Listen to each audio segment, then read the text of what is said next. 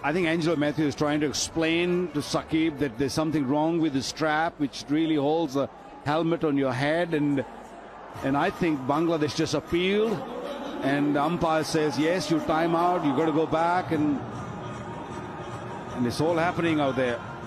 And Shakib rightly said, my conversation with, was with the umpire. That's what I read from his gestures when Angelo Mathews tried to explain to him. I've asked the umpires, that's it.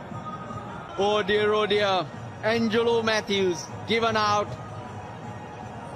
without facing a ball. Timed out. It probably is the first that I've ever come across.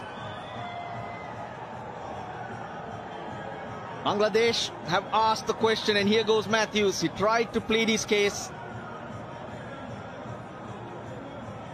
And it gets worse for Sri Lanka.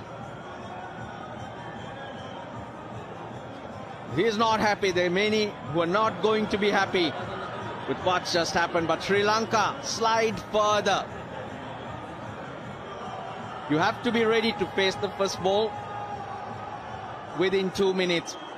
Mathews was not, and hence been given out.